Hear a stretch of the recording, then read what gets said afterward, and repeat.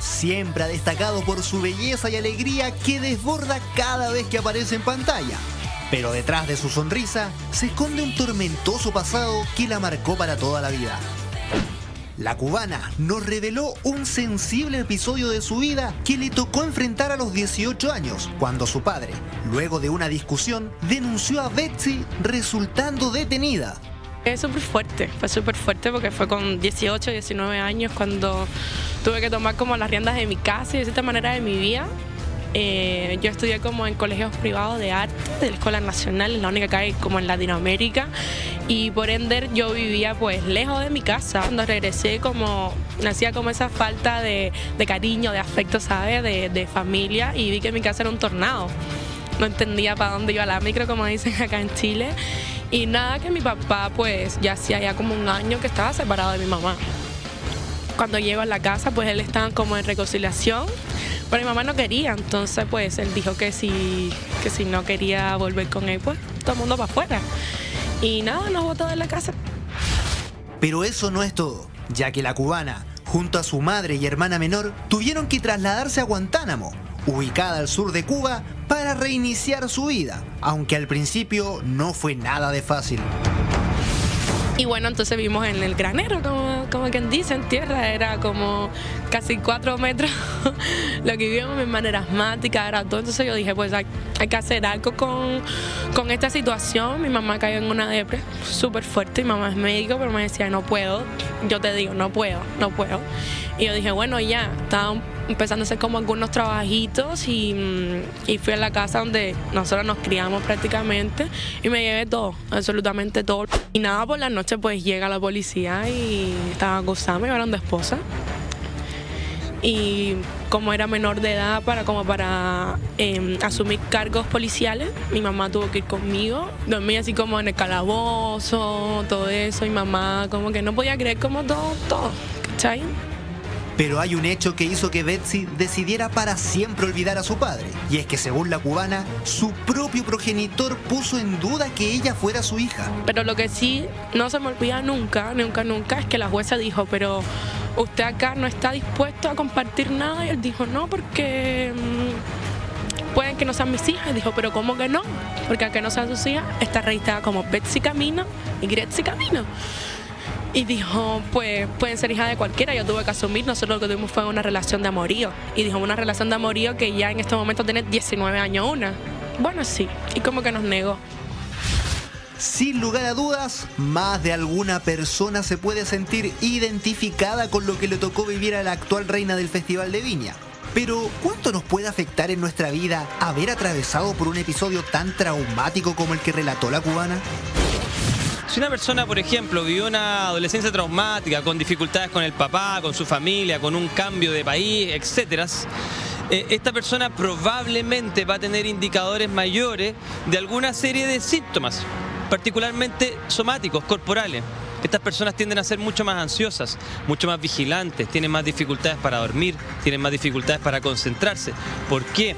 Porque cuando tú eres muy chico, si tienes que crecer muy rápido, pierdes esa inocencia. Y junto con esa inocencia también pierdes un cierto nivel de bienestar corporal que acompaña esa inocencia.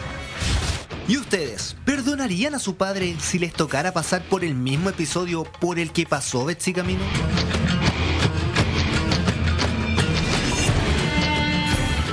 Oye, pero esta historia es como de verdad de cuento infantil, así David Copperfield, de una maldad. No, yo lo tiré como tal el Día del Padre, porque de verdad, o sea, yo estoy lo encuentro terrible pasar por situaciones. ¿Qué pasa con algunas personas que, cómo puedes dejar en la calle durmiendo a tu hija, a tu familia? Yo de verdad que no, no, no me cabe en la cabeza. Chuta, sí, me encantó la explicación de Schilling con respecto a, los traumas en la adolescencia o, cuando eres chico y me hace mucho sentido porque claro, te hacen crecer violentamente, entonces te pones mucho más a la defensiva, estás más, no confías mucho en las personas, eres más reticente, por supuesto, o sea, si el padre, o sea, la persona que tú más admiras en el mundo, que es el único hombre que, que empieza en tu vida es tu padre, ¿Qué hace esto? Estás en otro Y país además- también, súmale. ¿Cómo? Que estás en otro país también, súmale otra cultura, otra forma de Ah, ahora. mirar las cosas, digo, eh, en el Hoy, hora de, de hoy. Betsy. Ah, Ahí. claro, Ah, claro. claro. ¿no? Y, y además, o sea, a eso ella suma Mariela, que dice que se tuvo que hacer cargo de su madre, que estaba en una depresión horrible. O sea, ella como que en el fondo se hizo adulta de un día para Claro. otro. Hartas veces yo le he comentado cuando aparecen temas así que, que, que hay personas que dicen que los niños cuando no resuelven los temas con el padre se lo pasan reclamándole a la vida, porque como no ven al padre, entonces todos siempre están en esa, en esa dinámica de, de alegar y de reclamar.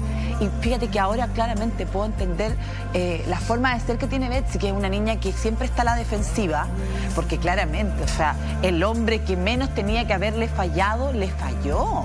Y le falló de una manera tan cruda. Además, ella tiene que asumir una responsabilidad siendo muy chica, ver a su hermana y a su madre en esas condiciones. O sea, eh, lo único que me hace pensar eso es que podríamos sacar la leyenda de que hoy día las personas, los padres, las madres que se están equivocando, que todos nos podemos equivocar, pero los que se están equivocando ahora tienen que entender que las consecuencias no las van a ver hoy día, ni mañana, ni el otro año. En años más tarde se va a presentar la consecuencia de esos actos. Traemos hijos al mundo, tenemos que hacernos responsables por ellos para siempre. Es así. Y su forma de ser también es nuestra responsabilidad el día de mañana. Sí, bueno, esta conversación, estas declaraciones eh, las dio en la noche nuestra, en una noche muy particular, porque estaba Arturo Longton, está Willy Sabor, eh, bueno, Pamela Díaz, los animadores, y todos contaron su historia. Y Willy, eh, de hecho, estaba su padre en el estudio. Sí, pues, siempre anda con Willy, Siempre anda con su papá. Y Willy estaba súper emocionado porque decía, pucha, de- después de escuchar estas historias de, de Betsy, de Arturo, decía, pucha, que he tenido suerte con mi papá. Y también estaba Gonzalo Vegas, que también tenía otro problema. Entonces, todos contaron su historia y fue un momento bien íntimo. Y recuerdo que Arturo Longton, como que sentí que le dio una especie de consejo a Betsy. Porque Arturo Longton eh, le pasó que él, eh, su padre falleció y que había muchas cosas que no se habían solucionado antes de la partida de su padre y que él tampoco lo había ayudado mucho. Y falleció bien repentinamente. ¿no? Claro, y que eh, su padre, por lo que contó, no lo había pasado bien, este, eh, estaba con una situación económica compleja y que él no lo ayudó porque él tenía cabos sueltos de anteriores y que él lloró profundamente, se notaba que era un llanto, una amargura tremenda, porque él eh, le hubiese gustado hacer las cosas distintos y que también se dio cuenta en el camino que, que muchas de las actitudes y de los errores de su padre, que él los cuestionaba, él mismo los comete. Entonces que ya, que el fondo, ¿por qué él fue tan duro en su juicio si finalmente era, su padre era un ser humano que cometía errores como cualquier otra persona? Entonces con esas apreciaciones yo siento que le hizo también ver a Betsy, porque Betsy contó que él, ella obviamente nunca más tuvo ningún tipo de relación con su padre. Por supuesto. Eh, por después de, claro, porque es tremendo lo que les pasó eh, a ella, a su, a su madre a su hermana, pero como siento que Arturo a través de eso le trató de dar un consejo de que tratara de solucionar, independiente del gran dolor que le provocaron, solucionar un poco el asunto Chuta. que vivió. Yo sé que es tremendo lo que le estoy planteando. Sí, porque, porque no Es sé tremendo. si... Que hay distintas que equivocaciones, pues Nati, ¿cachai? O sea, no, no podéis decirle a alguien, no, me equivoqué.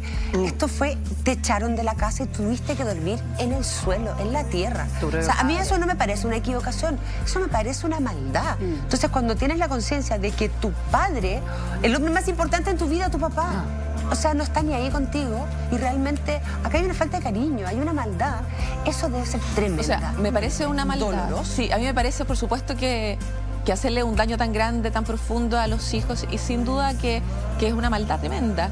Eh, por eso tampoco nadie puede pedirle a ella o a cualquier ser humano que, que retome una relación eh, de cariño con un padre o con una madre. Nadie le puede pedir eso.